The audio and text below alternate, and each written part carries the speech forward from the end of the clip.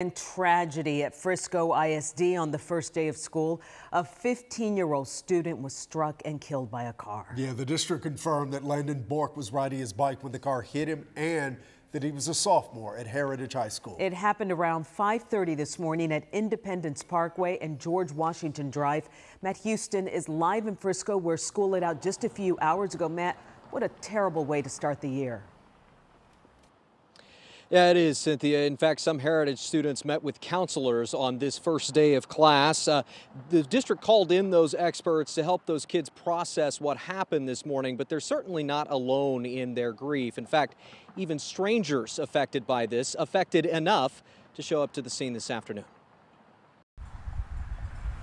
Though they have different connections to this tragedy, each person who brought flowers did so for a similar reason. That's somebody's child. Neighbors, former Heritage students, people grieving their own loss, all here to offer what they can to Landon Bourque's family. I went and got flowers and I got a card.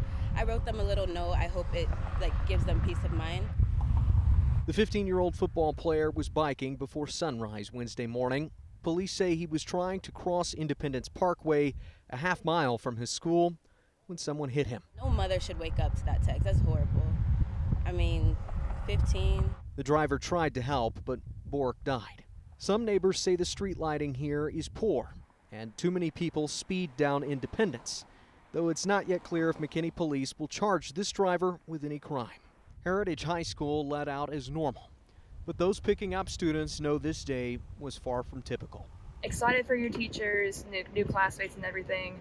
But to expect it to go so horribly wrong is just insane and very unexpected as well. In a statement, the school district says Bourque was a beloved member of the campus community whose loss will be felt by Coyote family. We spoke to the young man's best friend at the scene earlier today. He said he'll remember Landon for his work ethic and miss their trips to the pool together. This is just the latest tragedy in a spate of wrecks involving children on bicycles. In fact, just two weeks ago, a 14-year-old boy died after being hit in the colony. Last week, a 12-year-old died after being hit in Southlake, and today, a 15-year-old in Frisco. I'm Matt Houston. Back to you.